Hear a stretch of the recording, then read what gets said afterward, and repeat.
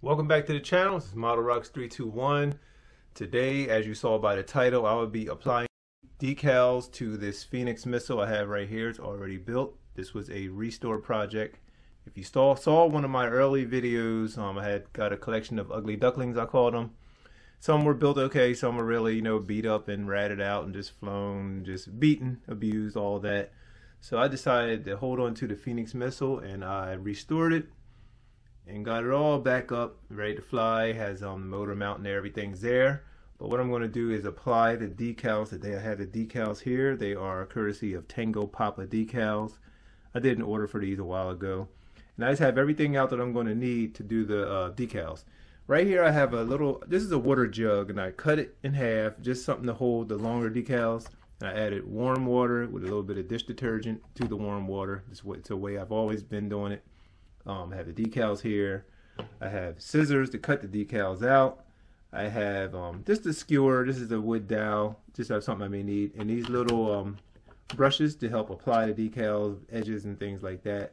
Some paper towels. And I have a towel because water drips and you know gets everywhere. So I will be wiping the rocket down. And you also use the towels to like damp up some of the water also. So that's where things are right now with the Phoenix missile and I will show you guys this process beginning right now.